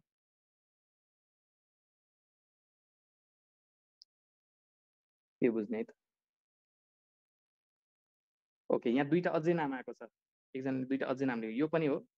तिमीहरूले लेख्दा हुन्छ यो। पिटोसिन भन् भनिन्छ यसलाई। होइन? र लभ हर्मोन अथवा इमोसनल हर्मोनमै लभ हर्मोन आउँछ। कुनै पनि दुईवटा मान्छेको बिचमा यो जुन बायोलोजिकल्ली लभ हामीले अर्को तरिकाले पनि डिफाइन गर्छौँ तर बायोलोजिकल्ली लभवाला कुरा यदि बायोलोजिकल्ली डिफाइन गर्नु पऱ्यो भने अक्जिटोसिन हर्मोनले गर्दा हुन्छ भनेर आजदेखि बुझ्ने क्या नट ओन्ली मिल्क इजेक्सन क्या अब हामी यसको फङ्सन बुझ पढ्छौँ अनि बुझ्छौँ। अब यसले गर्ने के भन्दाखेरि यसले हाम्रो मेनली भनेको रिप्रोडक्टिभ पार्टमै ऊ गर्ने हो रिप्रोडक्टिभ नै गर्ने हो। अब यसको यो साइडवाला लभ लभ अट्याचमेन्ट दुईवटा व्यक्तिको बिचमा अट्याचमेन्ट बनाउने पनि अक्जिटोसिनले नै हो होइन? अक्जिटोसिनले नै दुईवटा मान्छेको बिचमा लभ लभ हर्मोन त्यही भएर भनिन्छ। र यो love is not only between two people mother र चाइल्डको बिचमा पनि लभ लभको कनेक्सन एउटा भनौँ न अट्याचमेन्ट बनाउने त्यो पनि कसले गर्छ? अक्जिटोसिनले नै गर्छ। अब अक्जिटोसिनको यो त एउटा साइड फङ्सन टाइपको भयो। तिमीहरूले के बुझ्नुपर्छ भने अक्सिटोसिनको मेन मेन काम चाहिँ के छ? एकदम ठुलो काम मेजर काम के हो भन्दाखेरि जब बेबी बेबी एउटा नर्मल मदरको युटरसमा कुनै पनि फिटस अथवा भनौँ न कुनै पनि तिमीलाई फर्टिलाइज ओभमबाट बेबी बन्नको लागि नर्मल्ली नर्मल्ली चाहिँ नाइन मन्थ्सको टाइम त लाग्छ। होइन? नाइन मन्थ्सको टाइम त लाग्छ। अब एक्ज्याक्ट टाइम हामी पछि कुरा गर्छौँ। अहिले बुझ नाइन मन्थ्सको टाइम त लाग्छ। नाइन मन्थ्स भइसकेपछि अब त्यो बेबी बाहिर निक्लिनु पऱ्यो नि त। होइन? त्यतिखेर त्यति बेला यो युटरसले यो बेबीलाई पुस्ट गर्नु पऱ्यो क्या? मदरलाई जस्तो पुस्ट पुस्ट भनिन्छ नि। त्यति बेला एक्चुली मदरले पुस्ट गर्दा भन्दा पनि यो युटरसले यो बेबीलाई पुस आउट गर्नुपर्छ। होइन? त्यतिखेर त्यतिखेर यो पुस्ट गर्नको लागि यो युटरसमा एउटा पेन हुन्छ क्या। है त? त्यो पेनलाई हामीले के भन्छौँ? लेबर पेन भन्छौँ। लेबर पेन कुनै बेला पनि हुने होइन क्या। जब बेबी अब आउनै लाग्यो भने त्यतिखेर लेबर पेन हुन्छ बेबी बर्थ हुनै लाग्यो भने त्यतिखेर हामी लेबर पेन भन्छौँ। होइन? अब लेबर पेन इनिसिएट गर्नको लागि चाहिँ हामीलाई अक्जिटोसिन चाहिन्छ क्या। त्यतिखेर यही पोस्टेरियर पिट्युटरीले अक्जिटोसिन निकाल्छ जुन अक्जिटोसिन हेर यहाँ युट्रसको मसल्समा एक्ट गर्छ क्या यो अक्जिटोसिन। अनि यो युट्रसको मसल्सहरू कन्ट्र्याक्ट गर्छन्। The muscles of the uterus contract and then के हुन्छ? यसको बेबीको बर्थ हुनलाई हेल्प हुन्छ। यो युट्रस कन्ट्याक्ट भएपछि त यो पुस्ट भयो नि त यताबाट। लास्टमा यो बेबी बाहिर निस्किन्छ। यो बेबी बाहिर निस्किनुको प्रोसेसलाई हामी बर्थ त भन्छौँ डेलिभरी पनि भन्छौँ होइन? बर्थ भन्छौँ डेलिभरी भन्छौँ तर मेडिकल भाषामा पार्च्युरेसन भनिन्छ है। यो यो टर्म याद राख्ने। पिएआर टियुआरआइटिआइओ पार्च्युरेसन पनि भन्छ है। भनेपछि लेबर पेन गराउने पनि अक्जिटोसिनले हो। लेबर पेन भनेको यो स्मुथ मसल्सहरू कन्ट्र्याक्ट भएपछि त पक्कै पेन हुन्छ नि त मदरलाई। त्यो पेन गराउने पनि लेबर पेन गराउने पनि अक्जिटोसिनले हो। र त्यसपछि बर्थ डेलिभरी अथवा पार्चुरेसन गराउने पनि कसले गर्ने हो। तिम्रो अक्जिटोसिनले नै गर्छ त्यही भएर के भन्छ अक्जिटोसिनलाई बर्थ हर्मोन भन्छ क्या। बर्थ हर्मोन पनि भन्छ। होइन? अब हेर है। तिमीहरूले के बुझ भने यदि त्यसो भए अक्जिटोसिनले के गर्छ यो यो जुन बच्चा छ यसलाई बाहिर निकाल्छ। होइन? यति त तिमीहरूले बुझ्यौ। त्यसो भए अक्जिट हामीले जति पनि हर्मोन पढ्दैछौँ नि त्यो भनेको केही होइन क्या? केमिकल कम्पाउन्ड हो क्या? हामी ल्याबमा पनि बनाउन सक्छौँ ल्याबमा पनि बनाउनु अहिले त धेरै टेक्नोलोजी आइसक्यो होइन? अक्सिटोसिन पनि कुनै एउटा केमिकल कम्पाउन्ड त हो नि भनेपछि अक्सिटोसिन पनि ल्याबमा बनाउन सकिन्छ। त्यस भए जब नेचुरल्ली बेबी बर्न हुँदैन नि बाहिर निस्किँदैन नि जति ट्राई गर्दा पनि त्यतिखेर त्यो बेबीलाई बाहिर निकाल्नको लागि हामी मदरलाई अक्सिटोसिन दिन सक्छौँ। यो बेबी अब त्यो हामीले दिएको अक्सिटोसिन पनि कहाँ गएर एक्ट गर्छ? यही युट्रसको वालमा एक्ट गर्छ। बाहिरबाट पनि दिन सक्यो नि त पोस्टर पिटुटरीकै भरमा बस्नु त परेन। भनेर बुझ्ने आजदेखि है अक्जिटोसिन त्यसरी चाहिँ अक्जिटोसिनले युट्रस कन्ट्याक्ट गराएर बेबी बर्थ गराउन सक्छ। होइन? अब अर्को कुरा के बुझ भन्दै? मेमोरी अघि मैले मेमोरी ग्ल्यान्डको कुरा गरिसकेको थिएँ। यसको फङ्सन्सहरूको कुरा गर्नुपर्दा एउटा त पार्चुरेसन भइ नै हाल्यो। पार्चुरेसन गराउने लेबर पेन गराउने पनि भइहाल्यो। लेबर पेन गरायो। लेबर पेन नगएसम्म त अब पार्चुरेसन हुँदैन नि त होइन? अनि लेबर पेन भएपछि मदरलाई थाहा हुन्छ अब बेबी बन्नु आँटो अनि मुभीहरूमा तपाईँहरूले हेरेको होला पेन हुन थालेपछि बल्ल हस्पिटल लग्छ होइन? त्यसरी लेबर पेन पनि जरुरी हो होइन? पेन हो त्यही पनि जरुरी हो in the aspect of giving the birth to the baby. अनि पार्चुरेसन भनेको डेलिभरी अथवा बर्थ होइन? त्यो पनि जरुरी हो र अर्को मिल्क इजेक्सन पनि यसले नै गराउँछ। र कहिलेकाहीँ यो अक्जिटोसिन धेरै भइदियो भने यो युट्रस एकदम नराम्रो तरिकाले कन्ट्र्याक्ट हुनसक्छ क्या। एकदम नराम्रो तरिकाले कन्ट्याक्ट भयो धेरै कन्ट्याक्ट भयो भने यो it can kill the baby क्या। है त्यो हुनाले हामी यसलाई के पनि भन्छौँ? अबोर्सन हर्मोन पनि भन्छौँ। अबोर्सन गराउन सक्छ यसले होइन त्यस्तो अक्जिटोसिन धेरै भयो भने त एकदम जोरले कन्ट्याक्ट हुन्छ नि त यो युट्रस। एकदम लिमिटेड हुन्छ अक्जिटोसिन एकदम ध्यानले दिनुपर्छ क्या। अक्जिटोसिन पोस्टर पिटुटरीमा हामी पढ्दैछौँ तर बाहिरबाट पनि दिन सकिन्छ। अनि emotional hormone love hormone cuddle hormone उस्तो उस्तै कुरा हो। है। अनि यो साइन्टिफिक टर्म अफ पिटोसिन यसको बारेमा पछि फेरि हामी कुरा गर्छौँ। यही नामहरू हो। अब अर्को कुरा के बुझ भने यो मेन मेन यसको फङ्सन हो। यति चाहिँ बुझ है। अब कसैको यो आइएममा सोधिसकेको पहिला क्वेसन हो कि यदि प्रेग्नेन्ट वुमेन छ उसको लेबर पेन चाहिँ भइरहेको छैन तर लेबर पेन भइरहेछ तर बुझौँ न कि बच्चा बर्थै भइरहेको छैन। गराउनु नै छ अब बच्चा जन्माइहाल्नु छ किनभने मदरलाई एकदम गाह्रो भइरहेछ भने त्यतिखेर हामी बाहिरबाट अक्जिटोसिन दिने। अनि बर्थ हुन्छ। आइएममा सोधेको क्वेसन हो यो। अनि त्यसै गरी मिल्क इजेक्ट गराउनु पऱ्यो मिल्क इजेक्सन गराउनको लागि हामीले त्यतिखेर पनि के दिन सक्छौँ? दिन त सक्दैनौँ भन्नाले अक्जिटोसिनले नै त्यहाँ एक्ट गर्छ। मेमोरी क्लाइन्टबाट मिल्क इजेक्ट भइरहेको छैन बनी चाहिँ रहेछ भने अक्जिटोसिनले त काम गर्छ। होइन? अब के बुझ भने अब के बुझ भने तिमीहरूले यो हर्मोन्सहरू एन्ड यो के भन्छ जति पनि एन्टेरियर पिट्युटरीको हर्मोन्सहरू पढ्यौ नि त्यहाँबाट एउटा एक्सेप्सन छ क्या एन्टेरियर पिट्युटरीको हामीले छवटा हर्मोन पढ्यौँ। याद गर त।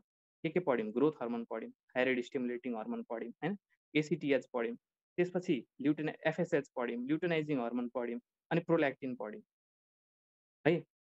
यो हर्मोनहरू पढ्यौँ। यो हर्मोन जति पनि छ नि यो सबैले एउटा प्रोल्याक्टिन बाहेक सबैले तिमीलाई नेगेटिभ फिडब्याक मेकानिजम गर्छ होइन अब मैले एलएचलाई छेउमा राख्नुपर्छ किन? मैले अस्ति नै एलएचको पोजिटिभ फिडब्याक मेकानिजमको कुरा गरिसकेको छु।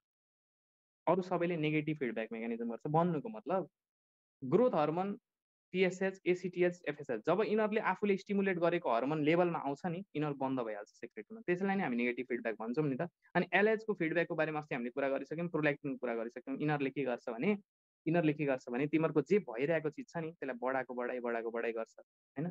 प्रोल्याक्टिन पनि आएको आइ हुनु पऱ्यो नि अनि मात्रै बढ्छ नि त। यसको सेक्रेसन र त्यो कुरा बेग्लै राखौँ। अहिले लास्टमा एउटा अझै कुरा के गरौँ भन्दाखेरि यो जुन अहिले मैले भर्खर हाइपोथ्यालामस र पिट्युटरीको कुरा गरेँ मैले के भने भने भ्यासोप्रेसिन अथवा जुन हामीले के भन्यौँ भ्यासोप्रेसिनलाई अर्को सरी एडिएचलाई भ्यासोप्रेसिन भनेको थियौँ नि त। एडिएच र अर्को भ्यासोप्रेसिन अथवा अर्को हर्मोन भनेको अक्जिटोसिन यो दुइटै निकाल्ने चाहिँ बनाउने चाहिँ हाइपोथ्यालामसले तर निकाल्ने लास्टमा सेक्रेट गर्ने चाहिँ पोस्टेरी पिट्युटरीले अनि यो दुइटा यो दुइटा हर्मोन जब आएर एकुमुलेट हुन्छ यो हर्मोन्सहरू त केमिकल कम्पाउन्ड हो नि त यिनीहरू एकुमुलेट हुन्छ क्या यो स्टकमा यो स्टकमा क्या। अब तिमीहरूलाई यो स्टकको पनि नाम अस्ति भनिसकेको छु इन्फन्डिबुलर स्टक भन्छ क्या। यो स्टकले नै जोडेको छ हेर न र यसलाई। अनि यो स्टकमा जब यिनीहरू आएर कलेक्सन हुन्छ नि यो कलेक्सन हुने बडीलाई हामी हिरिङ बडिज भन्छौँ। यो क्वेसन पनि सोध्न सक्ला त्यही भएर यति कुरा हामी गर्छौँ। अब आज हामीले पिटुटरीको सबै हर्मोन सकायौँ होइन? अब हामीले राम्ररी भोलिदेखि थाइरोइड अर्को क्लासमा थाइरोइड ग्ल्यान्डको कुरादेखि सुरु गर्छौँ। अब आई होप यति मैले जति भने यसमा सबै कुरा चाहिँ नहुन सक्ला होइन? सबै कुरा किनभने अहिले नै सबै कुरा भन्दै गयो भने त्यो एकदम बेसिकबाट जाँदैन क्या। जुन हाम्रो कन्सेप्ट बनाउनु पर्ने छ नि त त्यसरी बन्दैन। बिस्तारै बिस्तारै हामीले कुनै कुनै ठाउँमा केही कुरालाई सिम्पल बनाएर पढ्न खोज्यौँ। तर हामी यदि सबै क्लास एटेन्ड गर्दै गयौँ भने यसरी नै सबै क्लास एटेन्ड गर्दै गर्नु होला। हामी सबै कुरा गर्छौँ केही छोड्दैनौँ। लास्टसम्म हामी सिईसम्मै तयारी गर्छौँ। त्यही भएर केही कन्सेप्ट छुट्दैन। सबैले त्यो फलो गर्दै जानु होला। आजको लागि चाहिँ हामी यति पढ्छौँ। हामीले पिचुटरी पुरै सकायौँ ओके टेलिग्रामको लिङ्क हालिदिनु भन्दै हुन्छ ग्रुपमा। हालिदिनु ल। ल हामी मेसेन्जर ग्रुपमा टेलिग्रामको लिङ्क पनि हालिदिन्छौँ। केही क्वेसन छ केही कन्फ्युजन छ भने राख्दा हुन्छ होइन? हामी सिक्छौँ होइन? मैले पनि केही गल्तीहरू गर्न सक्छौँ तपाईँहरूबाट पनि गल्ती गर्न सक्छौँ होइन? यहाँ के भन्नुभएको छ भने if we could give oxytocin why is operation necessary sir एकदम राम्रो क्वेसन सोध्नु भएको छ है। अपरेसन भनेर तपाईँले सी सेक्सन भन्न खोज्नु भएको होला क्या? डेलिभरी दुई टाइपले हुन्छ है। ल यदि कसैलाई ढिलो हुँदैछ भने तपाईँ लिभ गर्न सक्नुहुन्छ है ढिलो हुँदैछ भने म यो एउटा लास्ट क्वेसन एड्रेस गरिदिइहाल्छु। जस्तो एउटा मदरको बडीमा ल एउटा बेबी छ अरे होइन?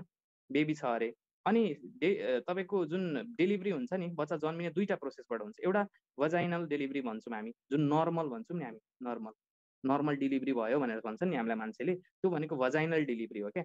अब भजाइनल डेलिभरी चाहिँ कति बेला हुन्छ भन्दाखेरि सबै कुरा ठिक छ क्या। अक्जिटोसिन पनि राम्ररी आयो लेबर पेन पनि इनिसिएट भयो बच्चाको टाउको पनि निक्लिरहेछ राम्ररी नै सबै भइरहेछ भने यो राम्ररी डेलिभर भइहाल्छ। यसमा केही अपरेसन चाहिँदैन। तर जुन तपाईँ अपरेसन भन्न खोज्नुहुन्छ जसलाई हामी सिजेरियन सेक्सन सी सेक्सन जे पनि भन्छौँ नि हो यो अपरेसन कति बेला गर्ने भन्दा केही केही प्रब्लम आयो। जस्तो अक्जिटोसिन आइरहेछ तर लेबर पेनै भइरहेको छैन अथवा बच्चाको टाउको निस्किँदै निस्किँदैन अथवा कहिलेकाहीँ के हुन्छ भने बच्चा एकदम ठुलो हुन्छ क्या। जस्तो यदि आमालाई यो अलिकति मैले ब्याचलर लेभलको कुरा भन्दैछु जस्तो आमालाई यो बच्चा पेटमा भएको बेला सुगर भइदिन्छ क्या कहिलेकाहीँ डायबिटिज भइदिन्छ क्या त्यो डायबिटिजहरू भयो भने बच्चा एकदम ठुलो हुन्छ क्या नर्मली हुनुपर्ने जति हुन्छ नि वेट त्योभन्दा एकदम धेरै ठुलो भइदियो भने त निस्किँदैन नि त यो भजाइनलबाट यो क्यानलबाट निस्किँदैन गाह्रो भइदिन्छ। कहिलेकाहीँ यो भजाइनामा ट्युमर छ क्यान्सर छ त्यति बेला पनि निस्किँदैन। त्यस्तो त्यस्तो प्रब्लम आयो क्या मतलब भेजाइनल गर्न चाहिँ हामी भेजाइनल नर्मलै गर्न खोज्छौँ होइन? तर जस्तो अब मदर मदर चाहिँ के छ भन्दाखेरि हो जेस्टेसनल डायबिटिज भनेर एकजनाले भन्नुभएको हो यो डायबिटिजलाई जेस्टेसनल अनि अर्को कुरा जस्तो मदर कन्सियस हुनुहुन्न क्या। मदरलाई चाहिँ एकदम गाह्रो भएर चाहिँ पुस्ट गर्न सक्दैन अब। भने पहिला चाहिँ हामी जहिले पनि डेलिभरीको बेला भजाइनल डेलिभरी नर्मल डेलिभरीमै जान्छौँ। तर यस्तो कम्प्लिकेसन आयो जस्तो अहिले मैले के के कम्प्लिकेसन भने बेबी ठुलो छ अरे बेबी साइज एकदम ठुलो छ निस्किन सक्दैन। अथवा भजाइनल क्यानल जुन छ यो सर्भिक्सवाला क्यानल यहाँ ट्युमर छ अरे सपोज जसले निस्किन दिँदैन। अथवा मदर अनकन्सियस छ मदर पुस गर्न सक्दैन मदर कान पुस द बेबी यस्तो यस्तो कन्डिसन आयो भने त्यतिखेर हामीले सर्जरी गर्नुपर्छ क्या। अनि सर्जरीमा हामी के गर्छौँ? यो जस्तो यो मदर छ सपोज यहाँ मैले डायग्राम बनाएर देख्नु भएको होला यति बेला हामी यहाँनिर क्या यो पार्टमा कट लगाउँछौँ एउटा इन्सिजन दिन्छौँ अनि यहाँबाट चाहिँ यो बच्चालाई डेलिभर गर्छौँ। बजाइनेको क्यानल युज गर्दैनौँ किनभने यहाँ त प्रब्लम थियो नि त। अब हेर न अक्सिटोसिन आएको आइछ यो के भन्छ पोस्टर पिटुटरले दिइरहेछ त्यही पनि बच्चा निक्लिरहेको छैन भने हामी इन्जेक्सन पनि लाउँछौँ त्यही पनि कहिले काहीँ हुँदैन क्या। कहिले काहीँ हुँदै हुँदैन जति ट्राई गर्दा पनि। अब धेरै अक्सिटेसन पनि दिन मिलेन भरे धेरै यो कन्ट्याक्ट भएर बेबी नै डेथ भयो भने त्यस्तो त्यस्तो हुनसक्छ। त्यतिखेर चाहिँ हामी सी सेक्सन डेलिभरी गर्छौँ ल। आई होप मैले क्लियर गरेँ रेजिनाले सोध्नु भएको थियो। आई होप म क्लियर छु केही क्वेसन यसमा अरू छैन होला। हामीसँग सायद टाइम पनि सकिँदैछ ओके क्लियर भयो होला। अब के क्वेसन पनि छ भने त टेलिग्राम ग्रुपमा राख्न सक्नुहुन्छ। हामीले यसरी नै तपाईँलाई कि त टेक्स्टमै एन्सर दिन्छौँ कि त यसरी नै भिडियो बनाएर एन्सर। ए फेसबुक फेसबुक ग्रुपमा पनि तपाईँहरू एड हुन सक्नुहुन्छ। सिई प्रिप्लाइनमा सोध्न सक्नुहुन्छ है। जति बेला पनि राख्न सक्नुहुन्छ। हामी फ्री भएको बेला तपाईँहरूलाई एन्सर दिन्छौँ है त। आई होप सबैजनाले बुझ्नुभयो होला आजको क्लास। मैले सक्दो ट्राई गरिरहेको छु तपाईँहरूलाई बेसिक कन्सेप्टबाट लग्न होइन केही गाह्रो नहोस् भनेर केही पनि क्वेसन छ भने राख्नु होला। हामी यसरी नै जान्छौँ। ओके आजको लागि यति है। Thank you every